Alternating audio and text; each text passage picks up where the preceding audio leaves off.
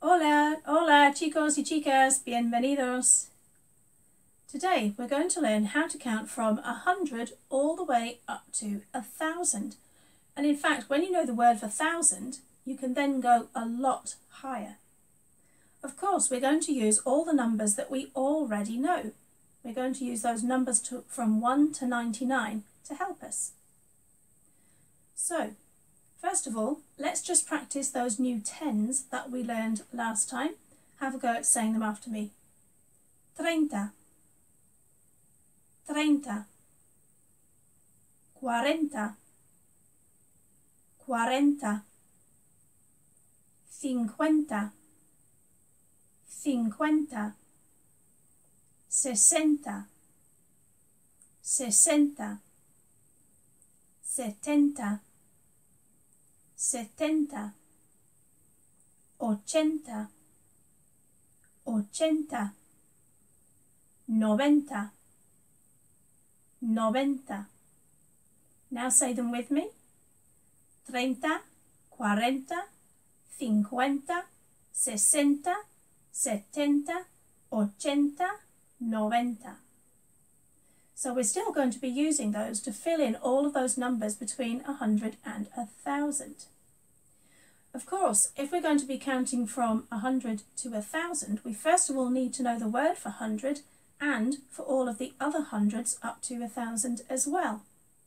So first of all, to say 100, you need the word ciento, ciento. Now, in brackets there, you can see another word, cien. If the number that you want is 100 all by itself, 100, you use the word cien.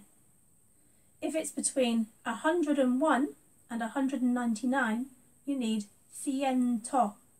So you're going to use ciento a lot more than you're going to use cien. Then, to make 200, you take the number 2, dos, then you take the word for 100, ciento, and you put them together.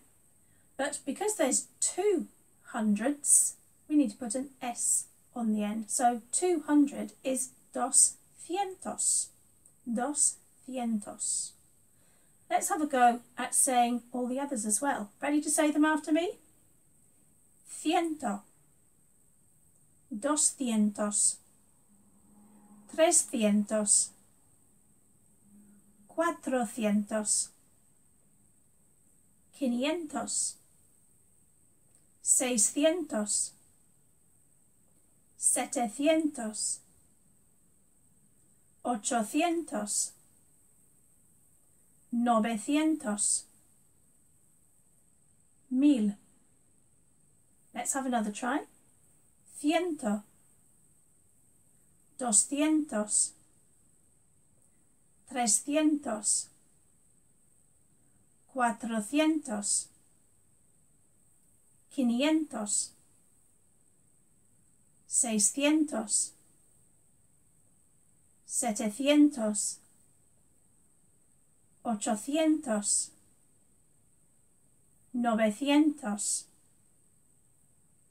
mil. So you can see the pattern of dos, cientos, two hundreds, occurs in most of these numbers, but there are some that have a slightly different pattern. So 500, for example, doesn't have the number cinco in it. We've seen dos cientos, tres cientos, cuatro cientos, but there's no cinco. However, it does have this quin at the beginning. It's a bit like quince for 15, and we do have some words in English that have quin at the front, which means five. See if you can think about what some of those words are. Then setecientos, that's just missing the I in siete. And finally, novecientos, that's more related to noventa for 90 than it is to nueve for 9. But they're recognisable, I think. Then you can see a thousand is mil. Have a think about all those maths words that you know where mil means a thousand. There are lots of them. So let's see how you would put numbers together using these hundreds words. And first of all, if you wanted to say this one, 654, you would really need to say 650 and 4. Even though in English we put the and between hundreds and tens, in Spanish you're only allowed to put the and, the e, between tens and ones. So 650 and 4.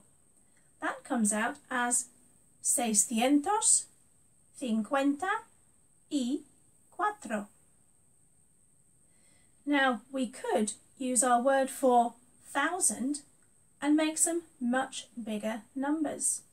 So for example, if we wanted to say 2,654, we would say dos mil seiscientos cincuenta y cuatro. It's very easy with the thousands. All you need to do is to put the number before the word mil. You don't have to make it plural or anything like that. So 2,654 is dos mil seiscientos cincuenta y cuatro. Now, with the words for the numbers that you know now, you should be able to work out how to say 999,999. See if you can do it. Hasta luego!